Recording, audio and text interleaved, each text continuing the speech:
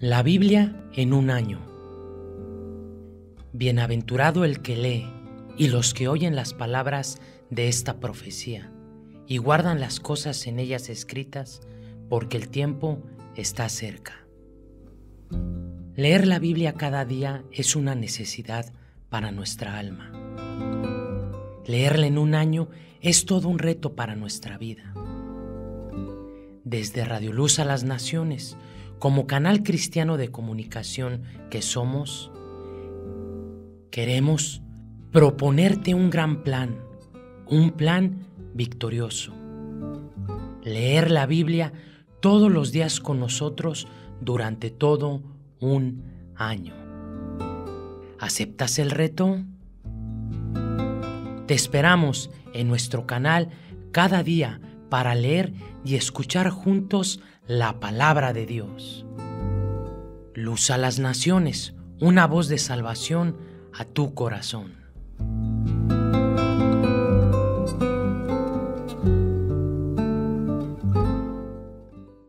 El libro de los Proverbios Capítulo 17 Mejor es un bocado seco y en paz que casa de contienda llena de provisiones.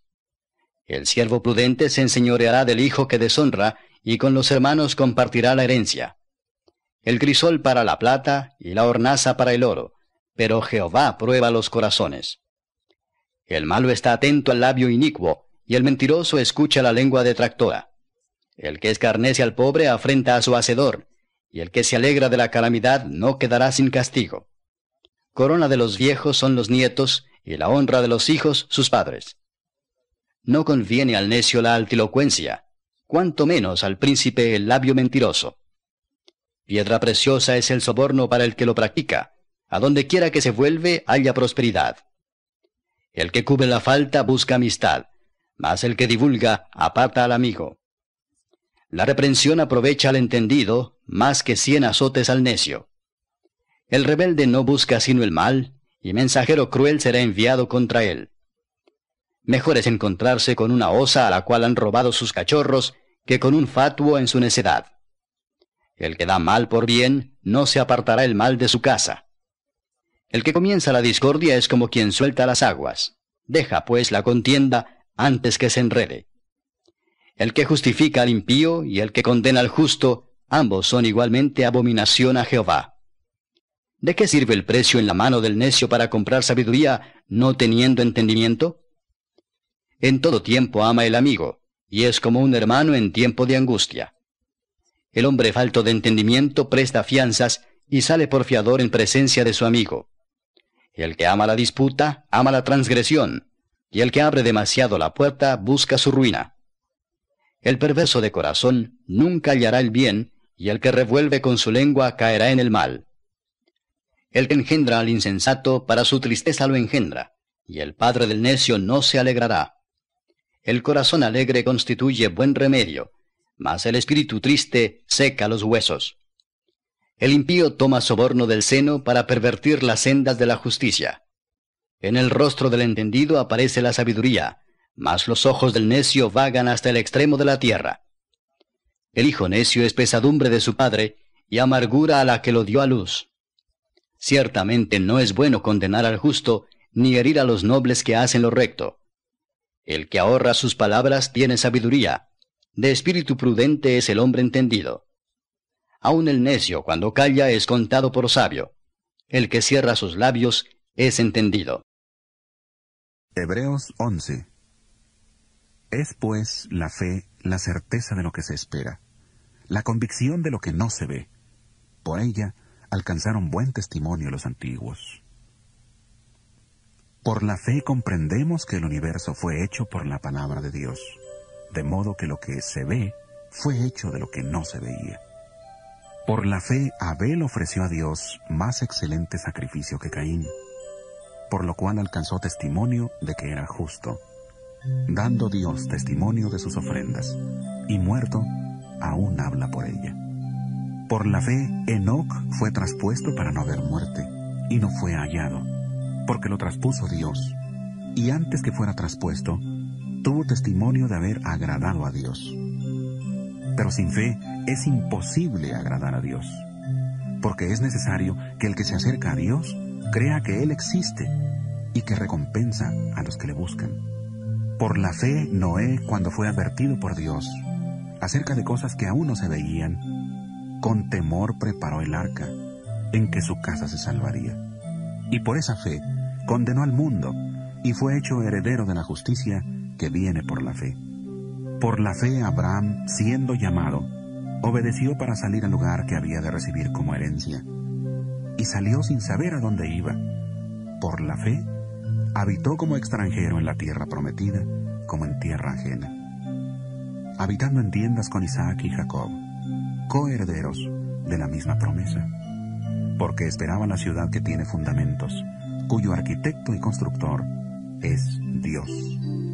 Por la fe también la misma Sara, siendo estéril, recibió fuerza para concebir y dio a luz aún fuera del tiempo de la edad, porque creyó que era fiel quien lo había prometido. Por lo cual también de uno, y ese ya casi muerto, salieron como las estrellas del cielo en multitud, como la arena innumerable que está a la orilla del mar. En la fe murieron todos estos sin haber recibido lo prometido, sino mirándolo de lejos, creyéndolo y saludándolo, y confesando que eran extranjeros y peregrinos sobre la tierra. Porque lo que esto dicen, claramente dan a entender que buscan una patria. Pues si hubieran estado pensando en aquella de donde salieron, ciertamente tenían tiempo de volver. Pero anhelaban una mejor, esto es, celestial, por lo cual Dios no se avergüenza de llamarse Dios de ellos, porque les ha preparado una ciudad. Por la fe, Abraham, cuando fue probado, ofreció a Isaac, el que había recibido las promesas, ofrecía su unigénito, habiéndosele dicho, En Isaac te será llamada descendencia porque pensaba que Dios es poderoso para levantar aún de entre los muertos, de donde, en sentido figurado, también le volvió a recibir. Por la fe bendijo Isaac a Jacob y a Esaú respecto a cosas venideras. Por la fe Jacob, al morir, bendijo a cada uno de los hijos de José y adoró apoyado sobre el extremo de su bastón. Por la fe José, al morir, mencionó la salida de los hijos de Israel y dio mandamiento acerca de sus huesos. Por la fe Moisés cuando nació fue escondido por sus padres por tres meses, porque le dieron niño hermoso y no temieron el decreto del rey. Por la fe Moisés, hecho ya grande, rehusó llamarse hijo de la hija de Faraón, prefiriendo ser maltratado con el pueblo de Dios antes que gozar de los deleites temporales del pecado teniendo por mayores riquezas el oprobio de Cristo que los tesoros de los egipcios, porque tenía puesta la mirada en la recompensa. Por la fe dejó a Egipto, no temiendo la ira del rey, porque se sostuvo como viendo al invisible. Por la fe celebró la Pascua y la aspersión de la sangre, para que el que destruía a los primogénitos no los tocara a ellos. Por la fe pasaron el mar rojo como por tierra seca, e intentando los egipcios hacer lo mismo, fueron ahogados.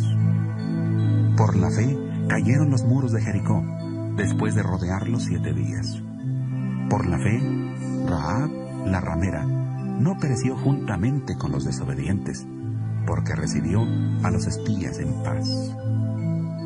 ¿Y qué más digo? Porque el tiempo me faltaría para hablar de Gedeón, de Barak, de Sansón, de Jefté, de David, así como de Samuel y de los profetas.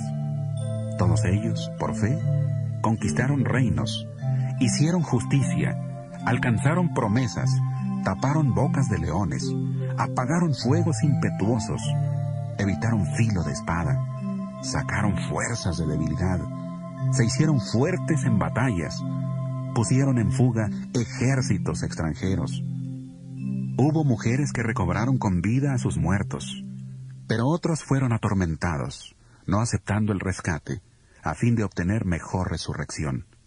Otros experimentaron oprobios, azotes, y a más de esto, prisiones y cárceles. Fueron apedreados, aserrados, puestos a prueba, muertos a filo de espada. Anduvieron de acá para allá, cubiertos de pieles de ovejas y de cabras, pobres, angustiados, maltratados. Estos hombres, de los cuales el mundo no era digno, anduvieron errantes por los desiertos, por los montes, por las cuevas y por las cavernas de la tierra.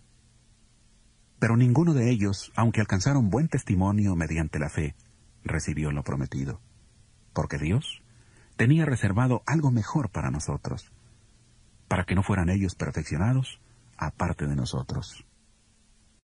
Libro de Job, capítulo 11. Respondió Sofarna a Matita y dijo, ¿Las muchas palabras no han de tener respuesta? ¿Y el hombre que habla mucho será justificado? ¿Harán tus falacias callar a los hombres? ¿Harás escarnio y no habrá quien te avergüence? Tú dices, mi doctrina es pura, y yo soy limpio delante de tus ojos.